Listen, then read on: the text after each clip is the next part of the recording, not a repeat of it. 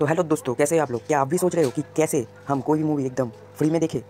आजकल क्रोम में भी सर्च करने से आसानी से कोई भी मूवी सामने नहीं आती और हाँ आपका समय जाता रहता है यार मूवी तो नहीं मिलती।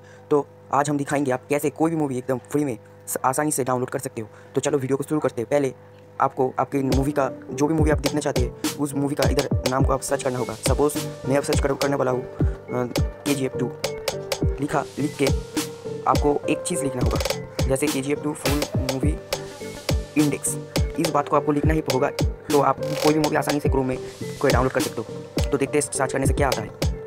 तो देखना, इधर एक ऑप्शन आएगा पहले ही index of F T P data movies Hindi इसको, इस पर आप क्लिक कर देना।